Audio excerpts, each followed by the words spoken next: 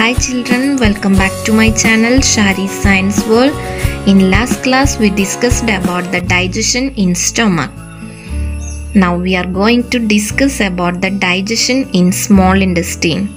Small intestine, it is the longest and narrow tubular part of the alimentary canal.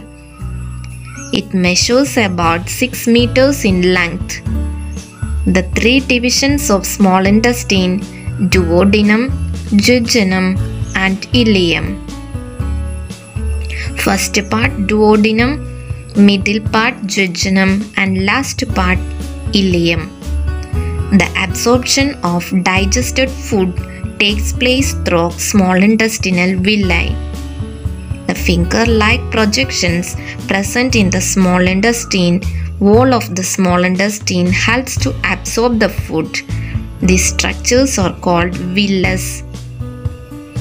The complete digestion of carbohydrate, proteins, and fats takes place in small intestine.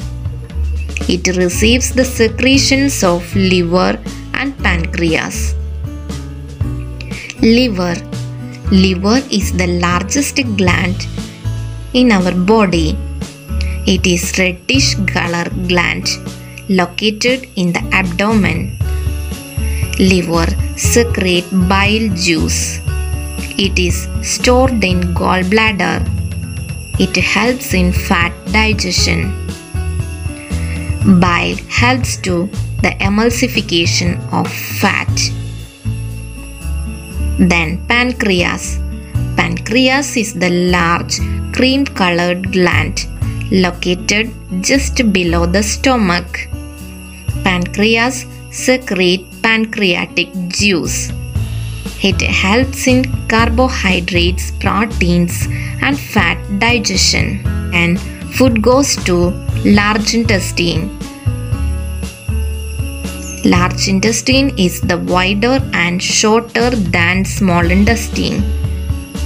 The three divisions of large intestine cecum, colon, and rectum. This large intestine absorbs water and minerals from the food and sends the indigestible matter to the rectum. The fecal matter is removed through the anus.